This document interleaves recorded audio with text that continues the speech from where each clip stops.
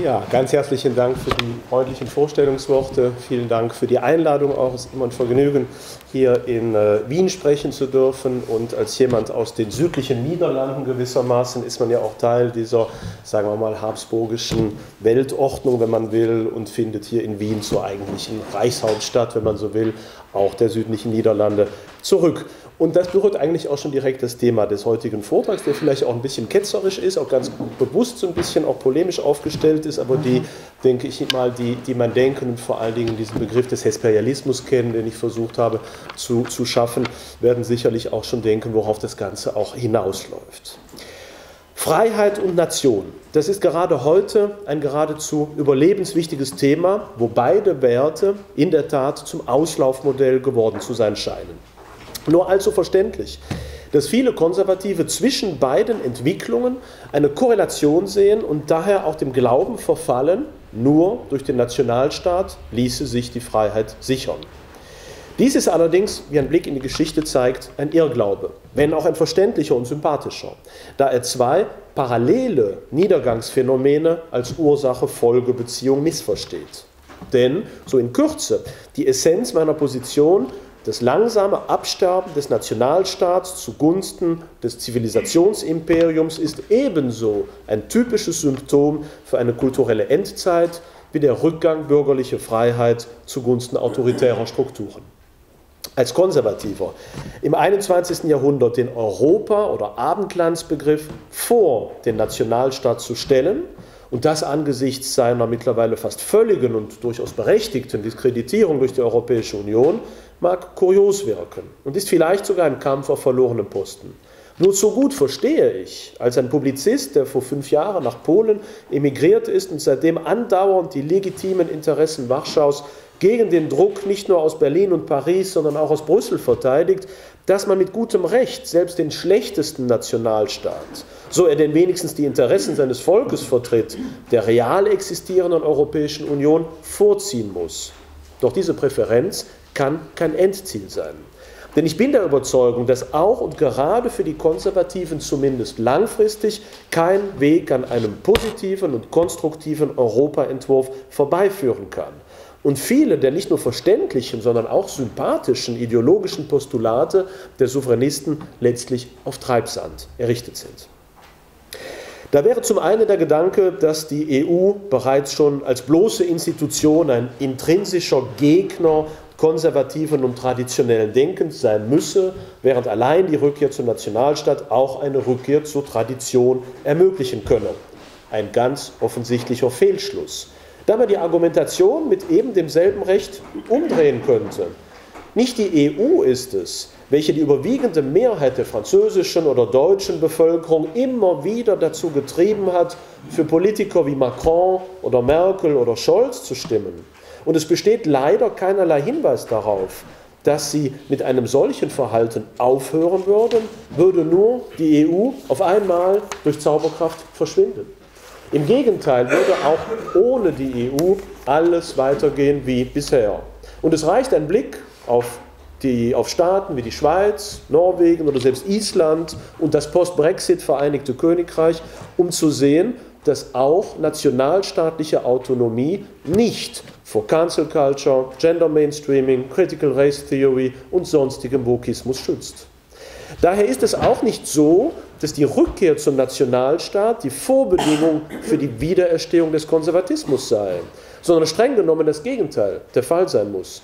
Nur in einer Gesellschaft, die mehrheitlich wieder für den Gedanken zu erwärmen ist, dass konservative oder traditionelle Werte wieder zu politischen Leitideen werden sollten, kann überhaupt erwartet werden, dass auch die Mitgliedschaft in der real existierenden EU mit ihrer linksgrünen Ideologie in Frage gestellt werden kann.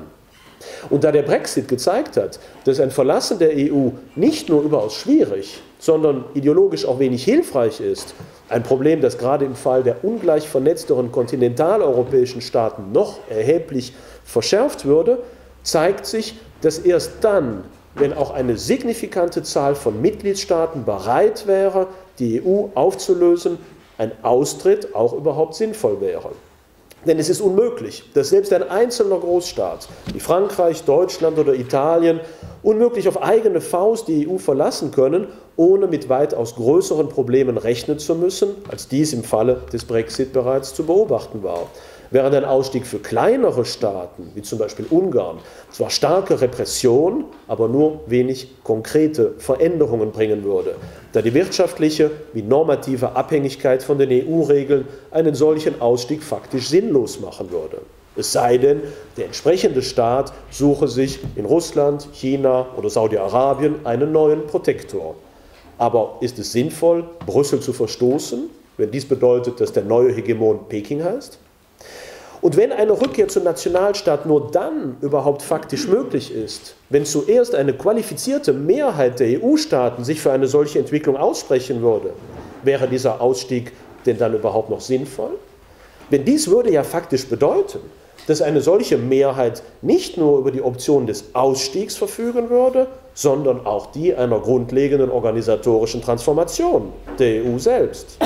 Die EU könnte somit etwa von einem Repressionsorgan linksliberaler Ideologie zu einem Instrument der Umgestaltung des kontinentalen Lebens auf Basis konservativer Ideologie werden, was gänzlich neue Perspektiven eröffnen würde. Ist dies nun eine utopische Sicht oder Idee? Vielleicht gerade nicht. Betrachtet man nämlich das allgemeine Versagen der Europapolitik, der europäischen Souveränisten in den letzten Jahren, das selbst den Rassemblement National dazu gebracht hat, den Frexit definitiv aus der politischen Agenda zu streichen, wird deutlich, dass es im Gegenteil auch wahltechnisch erheblich schwieriger sein würde, eine wie auch immer geachtete nationale Mehrheit zu finden, den Ausstieg aus der EU zu befürworten, als vielmehr ihre konstruktive Umstrukturierung anzustreben.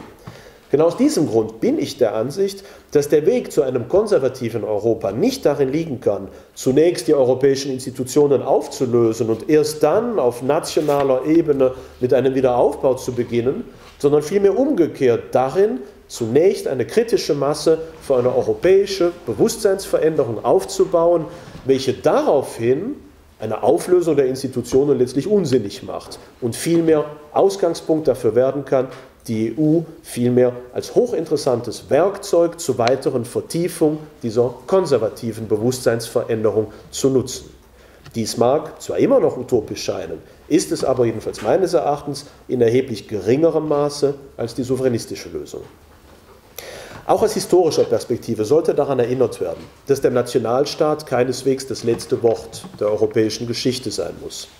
Zwar ist kaum zu leugnen, dass die Wurzeln der verschiedenen europäischen Völker schon im frühen Mittelalter gelegt worden sind und trotz gewaltiger idiomatischer und ethnischer Unterschiede die wichtigsten europäischen Nationen eine über tausendjährige Geschichte haben. Trotzdem muss bedacht werden, dass die Herausbildung zunehmend homogener Nationalstaaten eine erst relativ kürzlich geschehene, mit dem Opfer verschiedenster regionaler und lokaler Identitäten wie Dialekte teuer erkaufte Entwicklung ist, die in vielen Fällen gerade einmal ein oder zwei Jahrhunderte alt ist. Zudem sollte gesehen werden, dass der Gedanke, Teil eines einheitlichen, europäischen, abendländischen Kultur- wie Staatenverbandes zu sein, nicht erst auf die europäischen Institutionen zurückgeht, sondern vielmehr der Ursprungsgedanke unserer Zivilisation ist. Bedenkt man die Bedeutung der karolingischen Erfahrung ebenso wie die fast ein Jahrtausend währende Prägung weiter Teile Europas durch den übernationalen Reichsgedanken des christlichen Sacrum Imperium.